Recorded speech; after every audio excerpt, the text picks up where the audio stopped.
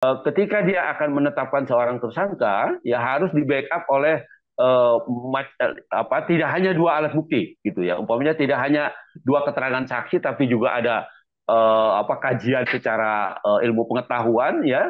Uh, apakah itu menggunakan apa hasil laboratorium atau uh, apa namanya uh, dukungan-dukungan keterangan ahli dan sebagainya. Saya kira itu harus diperhatikan oleh kepolisian dan ini pengalaman yang berharga buat polisi ya ketika uh, menetapkan seorang tersangka terutama pada kasus yang sudah lama gitu ya.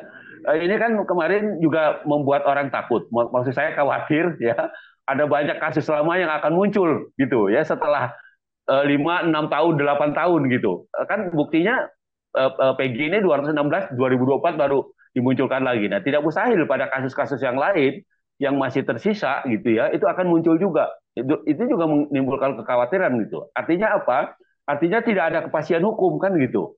Nah ini yang harusnya juga menjadi perhatian uh, penegak hukum tidak hanya polisi tapi juga jaksa dan uh, hakim gitu ya bahwa kepastian hukum itu harus nomor satu. Ini juga yang uh, menjadi apa namanya uh, alat atau menjadi sesuatu yang bisa menentramkan kehidupan di dalam masyarakat gitu. Ada artinya Eh, penegak hukum meskipun punya kewenangan tidak seenaknya umpamanya menetapkan uh, seseorang itu menjadi tersangka atau mengkriminalkan orang dan sebagainya. Tetapi tetap harus ya didukung oleh alat bukti yang memang sah kalau perlu uh, lebih dari dua. Begitu mbak